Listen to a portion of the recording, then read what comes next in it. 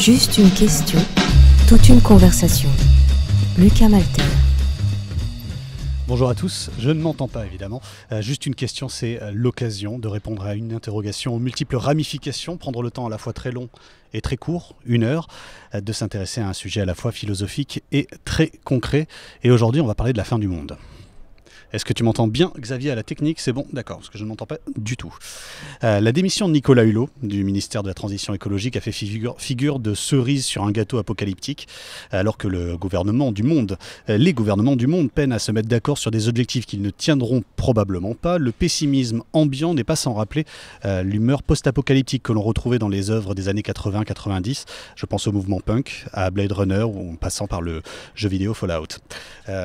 Sommes-nous tous condamnés? La planète Terre n'aurait-elle pas tout intérêt à se débarrasser de ce parasite, la race humaine, qui l'amène à, à sa perte? Un parti politique entend lutter pour notre survie et la sienne, la sienne, la planète, Europe Écologie Les Verts. Au plus près du procès en réalisme, euh, en plus du procès en réalisme fait à la gauche, on en parlait il y a deux semaines, un autre procès en réalisme est fait à ce parti. C'est bien beau d'arriver au pouvoir, mais dans un monde où les plus grands pollueurs portent des chapeaux larges, euh, à large bord et à la calotte haute, tout en mâchant du tabac, que les pays émergents se demandent pourquoi ils feraient des sacrifices qui, si nous y avions consenti nous-mêmes, auraient peut-être empêché notre hégémonie tout occidentale.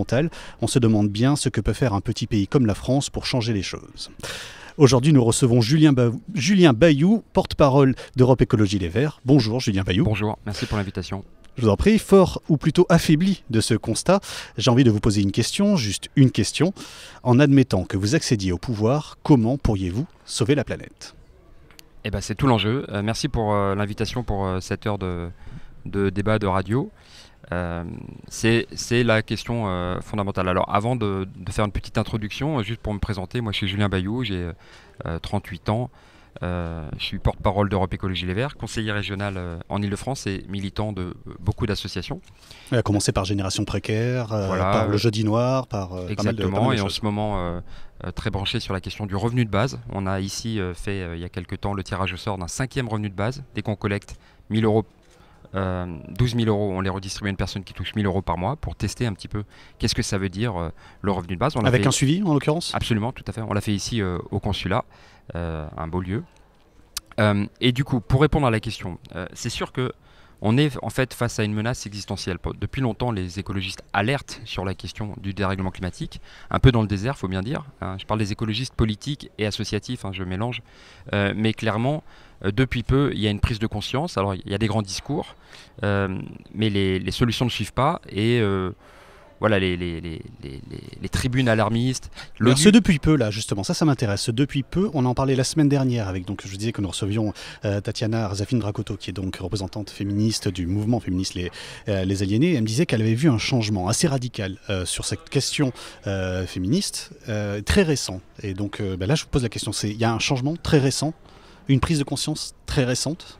Je pense, je pense, que la prise de conscience, elle date quand même de, de la fin des années 90. Hein. C'est ah oui, donc 1992, c'est euh, euh, Rio. 2002, c'est euh, Johannesburg. C'est là que Jacques Chirac dit la maison brûle et nous regardons ailleurs. En fait, mm. on a les données depuis longtemps. Euh, mais il y a une espèce de, de majorité culturelle qui s'est faite euh, depuis peu.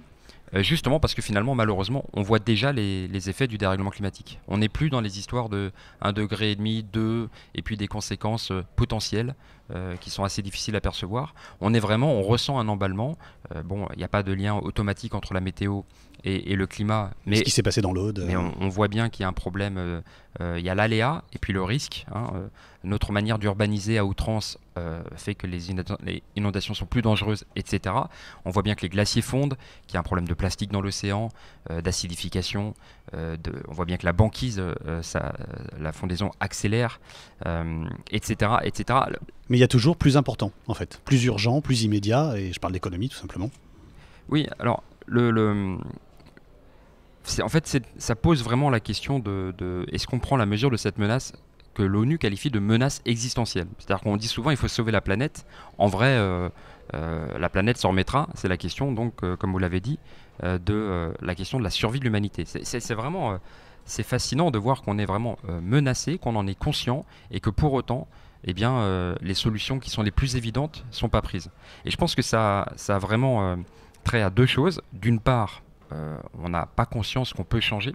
Et d'autre part, il faut prendre aussi la mesure qu'une société écologiste, société euh, euh, du bien vivre, de la solidarité, de la justice sociale, c'est pas une société de contrainte. Au contraire, vraiment, c'est une société qu'on peut choisir, où on peut assurer une, vie digne et authentiquement humaine aux générations futures comme actuelles. Et donc il y a aussi ce travail euh, d'expliquer et de donner à voir en quoi une société écologiste finalement elle est désirable. Il y a ça aussi.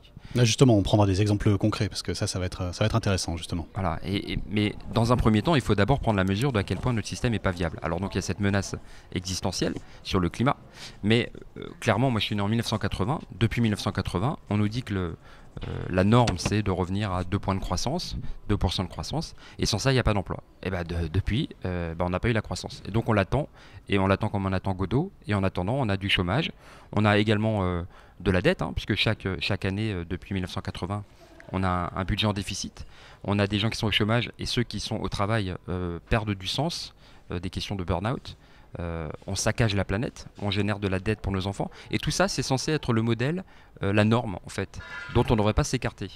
Donc nous, on dit, et c'est pour ça que l'écologie, c'est un paradigme nouveau, on part vraiment de cette critique radicale de, ce système qu'on nous présente comme inamovible. Une cohérence finalement entre euh, tout ce qui est infligé aux humains et ce qui est infligé finalement à l'écologie, à la planète. Absolument. Il y, a vraiment, bah, par exemple, les 30 glorieuses, euh, pour quelqu'un qui est né dans les 30 glorieuses, qui a vécu le plein emploi et les périodes de forte croissance, vous savez, c'est un peu comme quand vous êtes dans un, poisson dans un bocal. Il n'a pas l'impression que c'est un bocal. Il est dans l'eau, c'est tout. Eh bien, euh, les parents qui sont nés euh, dans les 30 glorieuses, ça, et maintenant qu'il n'y a plus le plein emploi ni la croissance, il se dit il faut y revenir. Mais quand on élargit un petit peu la focale, les 30 glorieuses, cette période de croissance, c'est plutôt une exception que la norme. Euh, une période de forte croissance comme ça pendant 30 ans, c'est l'exception. Et on sait sur quoi elle a été bâtie. Elle a été bâtie sur l'exploitation euh, des ressources de la planète. Du pétrole commencé euh, par là. Bien sûr. Et l'exploitation des hommes et des femmes, c'est la colonisation, par exemple. Donc, il faut surtout pas, il faut être complètement utopiste pour imaginer que c'est souhaitable ou possible d'y revenir. C'est pas souhaitable, c'est pas possible. Et quand bien même des fois, de temps en temps, on a un petit peu de croissance, euh, on se rend compte qu'en fait elle est très inégalitaire. C'est Oxfam qui explique que 82% euh, des fruits de la croissance sont captés par, euh, par les plus riches.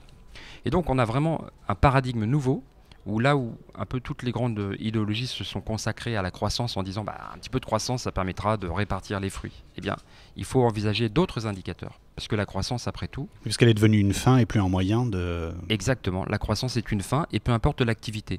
Est-ce que c'est euh, euh, l'activité euh, de prévention des maladies? Ça, et bien sûr qu'il faut une croissance de cette activité-là. Une croissance de l'agriculture qui, qui nourrit et l'agriculture et, et, les agriculteurs et les, et les consommateurs.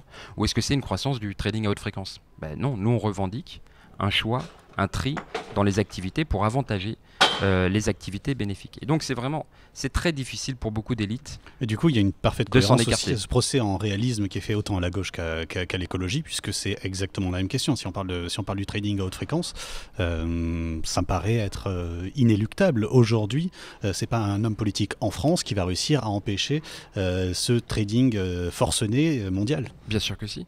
Mais d'ailleurs, le procès en, réalisme, moi je le retourne complètement. Encore une fois, je suis né en 1980 et depuis en 1980, on nous dit un peu de patience, le chômage va baisser parce que croissance, parce que je sais pas quoi, etc. Donc, et, oui, on va revenir en dessous des 3% de déficit et ceci, cela, etc. C'est qui les, les pragmatiques? C'est ceux qui envisagent comme on leur a dit, toujours pareil, etc. Ou ceux qui font un pas de côté pour envisager une autre, société.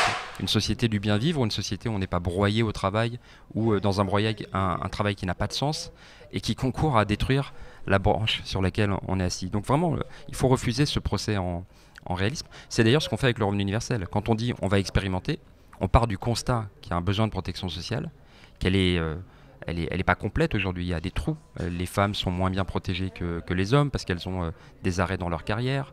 Euh, les, faux indépendants sont mal protégés. Un euro de cotisation pour vous et pour moi vaut pas le même euro de protection. Bref, bien sûr qu'il faut une protection sociale. Il faut aussi être lucide et la compléter par un revenu qui permet d'envisager des transitions.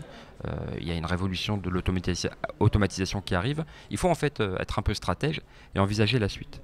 Et donc, tout ce qu'on propose, c'est tout simplement d'être réaliste et considérant la menace euh, existentielle qui vient, de prendre les mesures pour protéger le vivant, réduire les pollutions et choisir une société du bien vivre, du bien-être, plutôt qu'une société du toujours plus de croissance. Parce que c'est toujours plus de croissance, il ne ruisselle pas. Voilà, c'est tout le mirage qu'on nous vend depuis des années.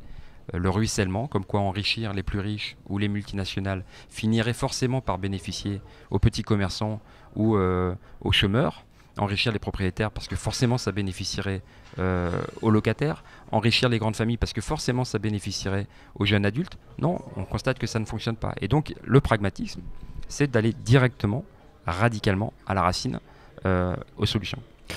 Du coup, on a fait un constat qui est certes amer, mais qui est aussi euh, euh, qui dénonce un petit peu cette attitude de Shadok euh, finalement, de, toujours pomper en espérant que, que la croissance ait des, ait des bonnes conséquences. Je propose qu'on fasse une pause musicale, une pause de fin du monde poétique, et puis qu'après on passe à la fiction concrète. comment on va donc sauver le monde?